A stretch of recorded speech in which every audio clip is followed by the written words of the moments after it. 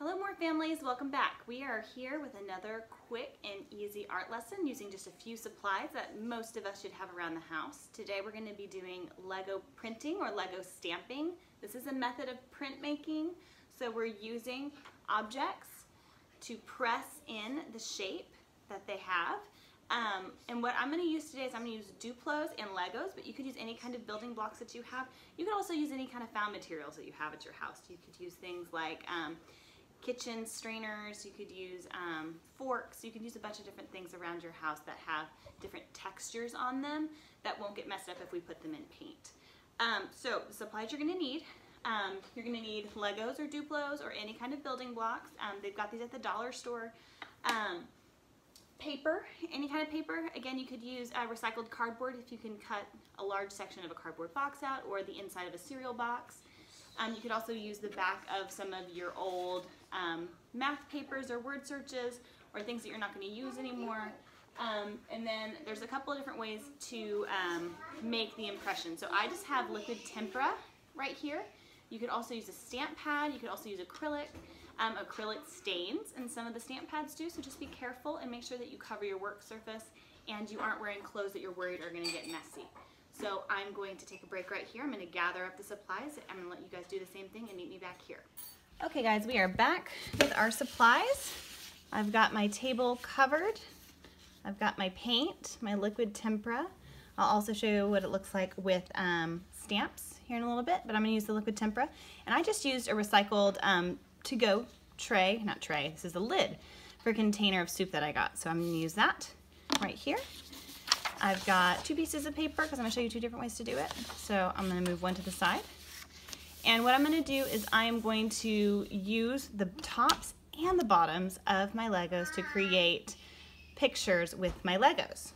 So what you can do is you can just scooch it around in your paint here and you can have an idea before you get started like maybe you want to do a rocket ship or maybe you want to do an airplane or maybe you want to do a robot and then you're just going to press your Lego onto the paper. So this is using Duplos. These are my daughter Quinn's Duplo blocks. And I think I'm to make a house with these because these look like good windows.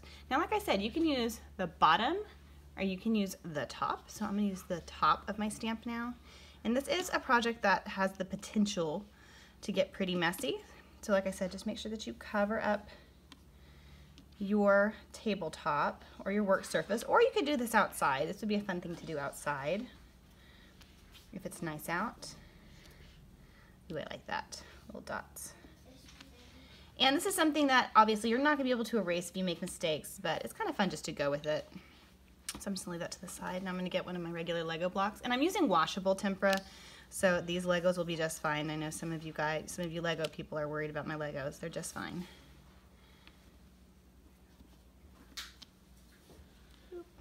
Got some fingerprints in that one. Oops.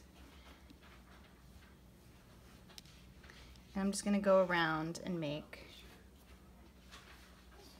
prints all the way around with my Legos. And I could always change my mind if I felt it looked something more like maybe a face or a puppy or whatever you wanted to turn it into, you'd be able to do that.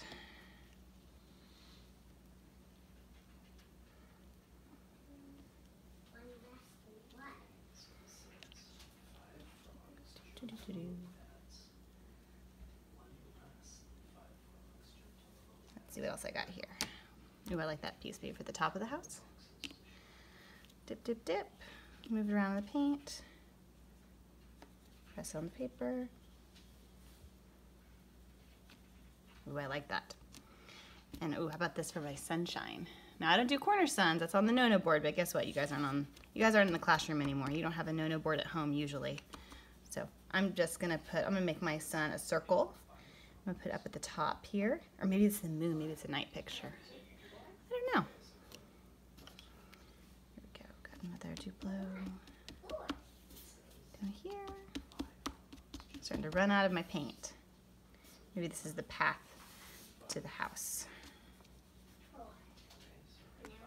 Okay, so here is an example of Lego printmaking or stamping with the tempera paint.